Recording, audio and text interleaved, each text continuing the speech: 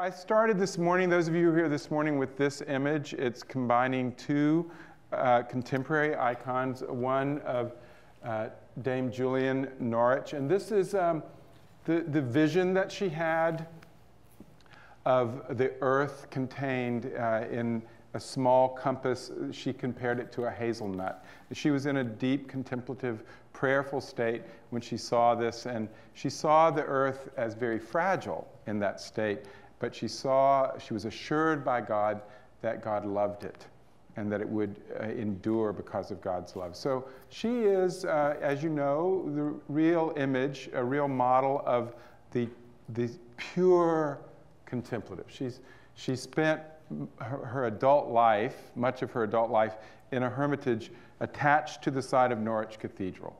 I mean, there she was. And, and there was a cat. Um, you see that in some icons of her. And there was a way to speak to people who came for spiritual counsel on the street. And there was a connection inside to the cathedral. But that is where she lived, in that rooted uh, place of contemplation. And on, the, um, on my left is uh, Dr. Martin Luther King uh, in the Birmingham jail. So when I was Bishop Suffragan of Alabama, my office was uh, in view of both the 16th Street Baptist Church and of the Birmingham jail.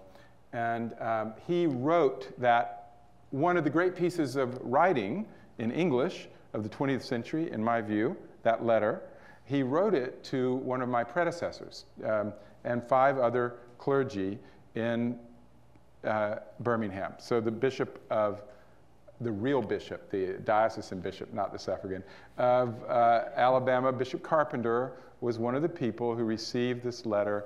And it, he wrote it to them because they said, Bishop Carpenter said, and the others, yes, integration, but not yet. So a kind of idea of gradualism and waiting, and he said, you know, we cannot wait, and that all that flowed. So he would be, you know, pretty much the picture of activism. We don't consider him the contemplative. Together, they are this unity of action and contemplation uh, together. And I want to suggest that that actually is an answer, that it, it works. Uh, that is, Francis and Clare is another great example, contemporaries and friends. Uh, so definitely, uh, Francis was a contemplative, but we think of a great deal of his action in the world um, peacemaking um, at all levels, peacemaking at all levels. But, and Clare, uh, the contemplative. But they make together a wholeness. But I also want to suggest that that wholeness can be found in an individual human life. That we can find this, this wholeness within ourselves. That the wells of contemplation can lead to action for justice in an individual human life, life, as well as in, you see, this is a seed of a community, the idea of a community together.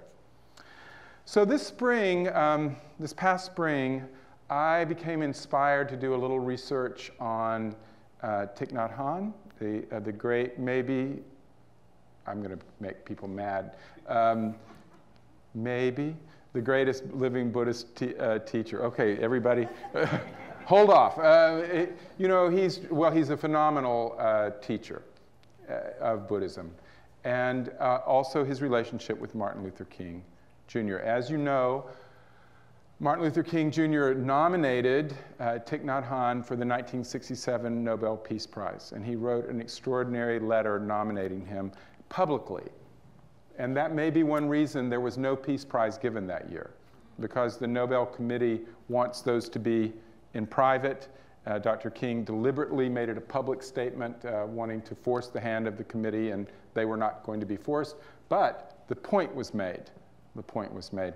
So I, became interested in this because um, these anniversaries, the 50th of the Selma March, the these are not accidents. I want to suggest to you that these moments come to us as anniversaries because we need them.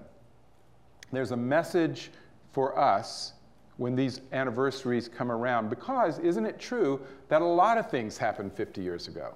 A lot of big things happened 50 years ago. So why those? You know, why are those the ones that, prick our consciousness and make us pay attention and make us think because I think we need them. There's a message in them that we need. Look at that. Isn't that beautiful? So uh, Thich Nhat Hanh was also uh, a friend, and uh, Merton was an advocate for him uh, because this was in the heart of the Vietnam War. And Thich Nhat Hanh started the Buddhist peace movement.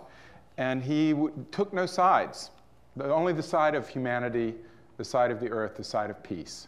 So he was an enemy to North Vietnam, he was an enemy to South Vietnam. He has never lived permanently back in, in Vietnam as a result.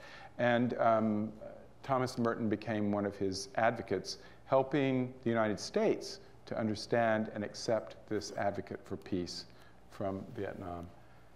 And look at that. Such a beautiful picture of Martin Luther King with Thich Nhat Hanh. They're both so young. And uh, in Dr. King's Nobel Peace Prize nomination letter, he mentions that the young Buddhist scholar and meditator had already written 12 books. So I became interested in this moment, this anniversary kind of moment, to ask, what were they? Uh, so I looked, you know, a lot of places to find what were those 12 books. They're not easy to find. Uh, I never found the whole list of those early publications of his. But in the San Francisco Public Library, public libraries are, you know, Aladdin's cave uh, to me. They're amazing, amazing places. And in the San Francisco Public Library, the main library over there near City Hall, I found five original copy books of his from before 1967. Really amazing. And I want to show you what I found in one of his books. This is the inside cover of Lotus in a Sea of Fire. Vietnam, Lotus in a Sea of Fire. That's Vietnamese language script. Someone wrote all over the pages, including on, you can see, onto the uh, dust cover. And twice in that area it says CIA. That's the only part I can read. So they had an opinion. They had an opinion about this war from a Vietnamese, some Vietnamese perspective that they wanted to share. And this is in the text itself. Uh, it says, it's, it's, a little section where Thich Nhat Hanh is writing about the National Liberation Front. And you can see somebody has marked it out four times and then written above it, NLF is a political puppet of North Vietnam. A different opinion. Uh, so the reason I'm showing you these things, well, they're fantastic, right? I'm showing you these things because they show the passion uh, that he had for peace.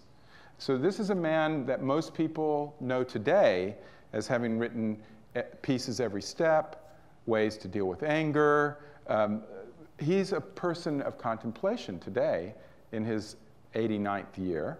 Uh, he, he is a person we have made into one side of those icons of contemplation and action. But in fact, he was a passionate person engaged in social justice, along with Martin Luther King Jr. and Thomas Merton. They're all working in both spheres of contemplation and action. And what is it that allowed them to do this? Well, what the topic was that I was interested in in looking at all this was that in 1967, Dr. King not only nominated Thich Nhat Hanh for the Peace Prize, he started quoting the idea of interrelationship and interconnectedness all over the place.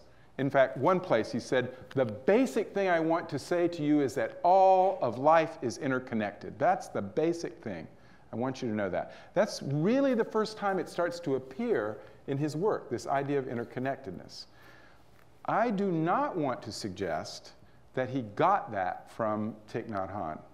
That is a Buddhist principle. I don't think that's how it happened. I looked and looked at this. I think it's what another Buddhist principle would describe as co arising. That, it's, that it arose together out of their common commitment to justice and to the contemplative life. And what was that seed that allowed them both to talk about the interconnection? I think it was first that they made peace with the being who is within through silence and through deep inner work. And then they made the same peace with the other. Inner relationships, all of life interconnected, meaning all of life can be loved, respecting its differences, not erasing its differences, but respecting its differences. So, so I think that's what, what it is. Um, thank you for those steps on. Uh, here are Martin Luther King's own steps on nonviolence. Here's how he said we should plan a nonviolent action collection of the facts, negotiation, self purification, and direct action. And here's where uh, this relationship comes. Uh, this is also Dr. King. We must rapidly begin the shift from a thing oriented society to a person oriented society when machines and computers, profit motives, and property rights are considered more important than people. The giant triplets of racism, materialism, and militarism are incapable of being conquered. And I will close by reading uh, a 1967 poem of Thich Nhat Hanh's, which is all about this deep interconnectedness at a very personal level. This is called Let Me Give Back to Our Motherland. Last night, four of my brothers died. One was Tho, one was Tuan, one was He, one was Lan. Let this be known to you.